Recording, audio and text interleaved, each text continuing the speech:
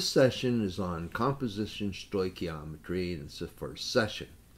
Now, stoichiometry. When you go to a party and you say, "Boy, I I'm, I understand stoichiometry," uh, they they people could very well throw money at your feet. They would be so impressed, or maybe not.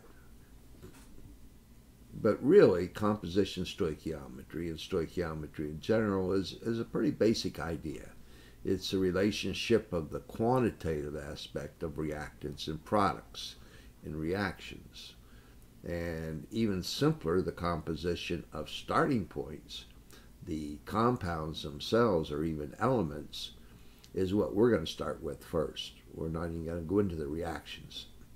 But we're going to be working over a couple sessions with this reaction where you take magnesium, magnesium metal.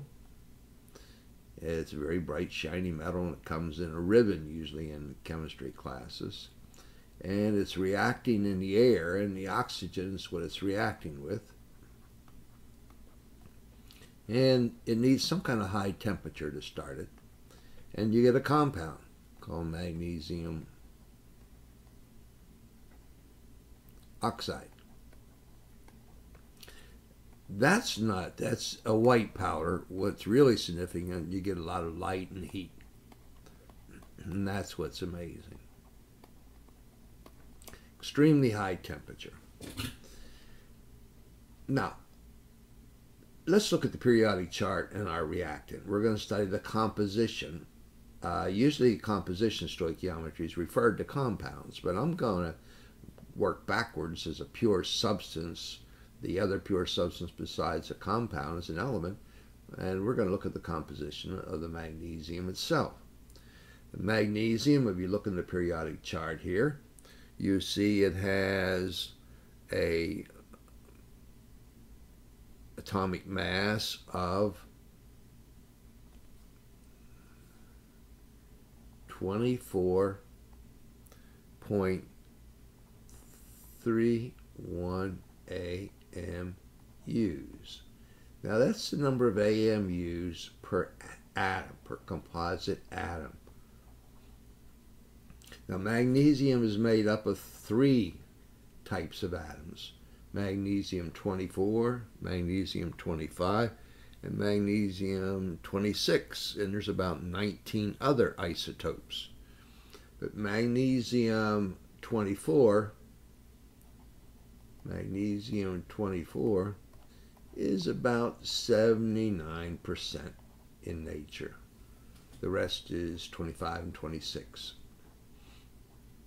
The isotopes are short-lived. Now this is the composite of a single atom that doesn't exist.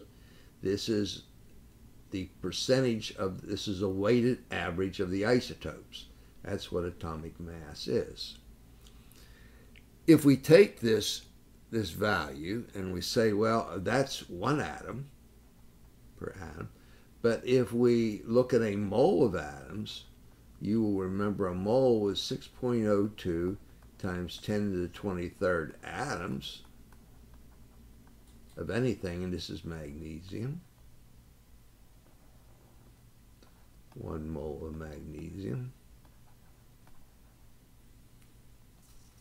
Now you have the number of AMUs per mole of magnesium. It's a gigantic number, 24.31 times 6.02.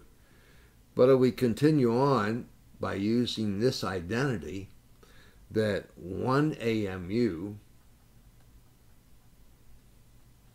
weighs only 1.66 times 10 to the minus 24 grams. Because see, you want to have, we work with grams in a lab, not AMUs. If we multiply this all out, notice the AMUs cancel out, and we have grams of magnesium in the numerator and moles of magnesium in the denominator. Do you notice we're doing dimension analysis? Dimension analysis, one of the most important skills that you will use in chemistry and physics for that matter. When we multiply this out, we come up with 24.3 grams. Ha, look at that. We started at 24.3 and we ended with 24.3. And so you remember this by now, perhaps in your classes, that on the periodic chart, to go from the weight of a single atom to the weight of a mole of atoms, it's the same number, but you just change the unit from AMUs to grams. Okay, this is the weight of a mole. Now, let's get to the composition. So for a mole of magnesium, you know always know two things. You know the number of atoms in it, 6.2 times 10 to the 23rd atoms. And you know its weight of a mole of atoms, 24.3 grams per mole.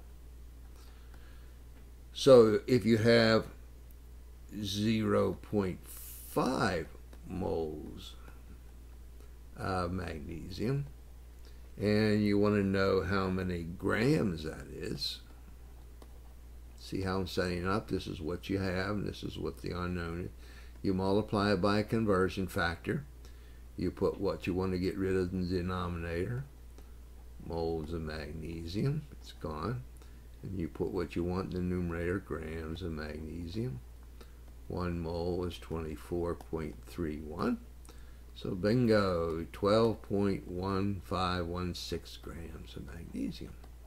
You can work backwards you could start with uh, 12.04 times 10 to the 23rd atoms of magnesium.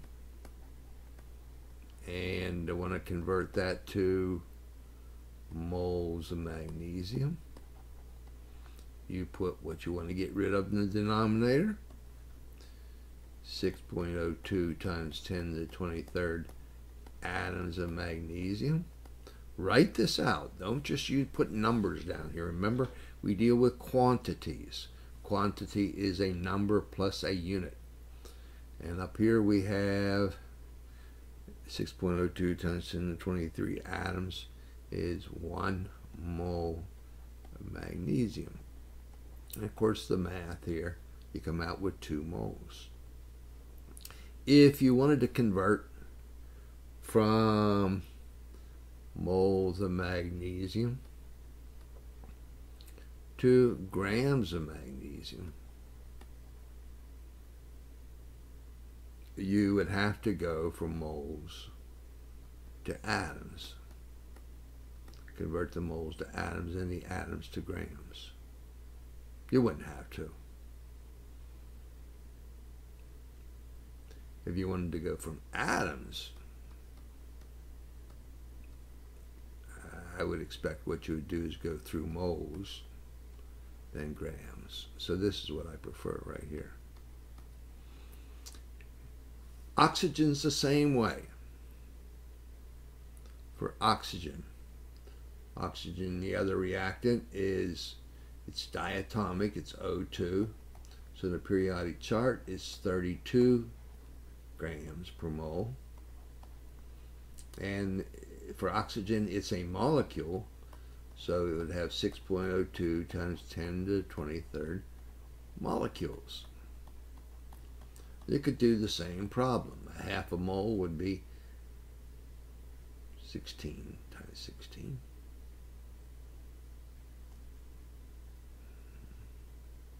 Okay, 16 grams, a half of mole of molecules will be 3.01, 2 moles, 12.04.